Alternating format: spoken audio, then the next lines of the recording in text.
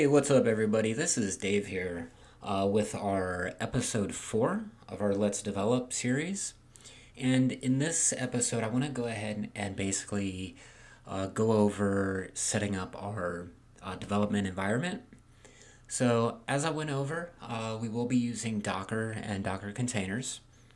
So, I wanted to go through briefly and kind of explain some thoughts here. So with Docker, uh, Docker is basically it's uh, container based, so it's not like an actual virtual machine. Those are typically used for uh, single application environments. Um, they're not used for the actual development of those applications, though.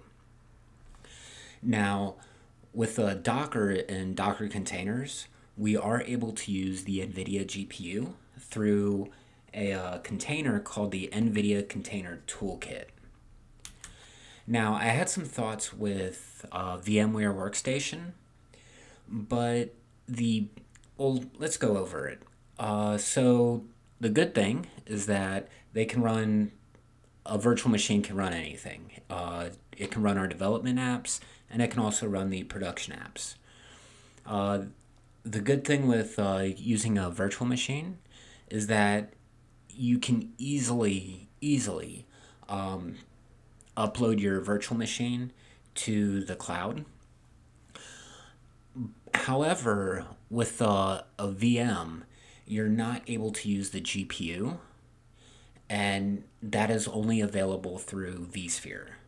So, VMware Workstation, which is what I have, it doesn't have a GPU pass through. So, VMware is completely out.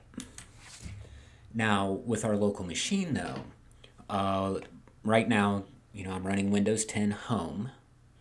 Uh, with that, you can run multiple development apps. You can run your production apps. Uh, I'm not going to run the production apps on the uh, local machine, though. I'm going to use Docker. Now, with Windows 10 Home, on the Docker website or through some uh, previous tutorials that I went through, it did say that you could only use Docker with Windows 10 uh, because of the uh, virtual machine um, platforms that need to be enabled, like uh, Hyper V. But after doing some research, all we need to do is have the Windows subsystem for Linux uh, feature turned on and installed. And then it has to be upgraded to use uh, version 2, so WSL2. And then we also need to install and enable the virtual machine platform feature as well. And both of those will let us uh, install Docker Desktop. Now, the not really bad thing, but it's kind of meh, is that when you're using your local machine, uh, you need to use uh, Python virtual environments so that way the actual the actual application doesn't become bloated with uh, libraries that you know you might install uh, on the machine.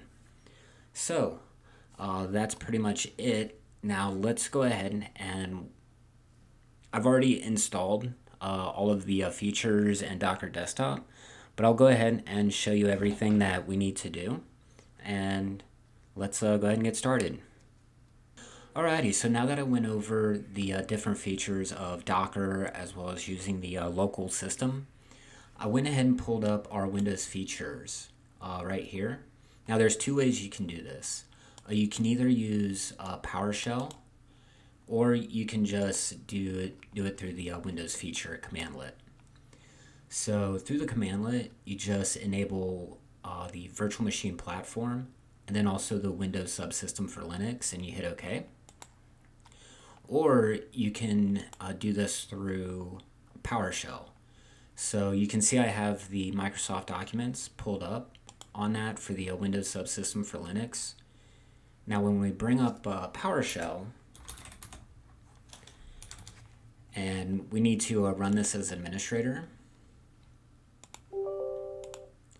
And once we have that open, we can just copy these, paste,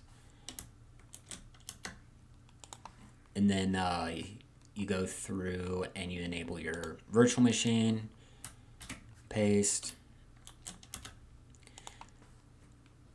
And then after that, you do need to uh, download the uh, Linux kernel update. So you just click on that and you run the uh, MSI file.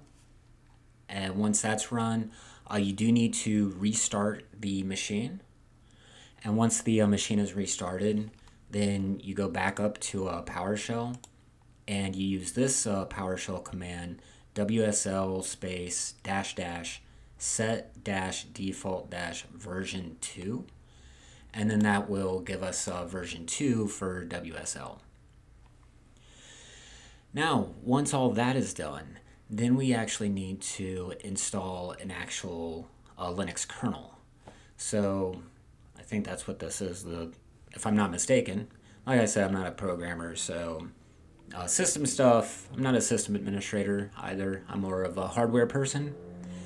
But uh, I'm more familiar with Ubuntu, so I went ahead and downloaded Ubuntu from the uh, Microsoft Store, and I went ahead and installed that as well. So uh, that's pretty much it with um, getting the Linux uh, backbone. Once that's done, uh, you just download Docker, uh, the desktop, Docker desktop. You install that, and you're good to go. So, uh, Docker will be for the production stuff. So we don't need to go through, you know, creating a container and everything else. That'll be far into the future uh, part of the series. But the other thing that uh, I already have installed, but you may want to get it as well, is uh, Visual Studio Code. Uh, this is really like a lightweight uh, development uh, application. Um, I mean, you can use Notepad, you can use Visual Studio Code, uh, you can use Visual Studio, you can use whatever you want.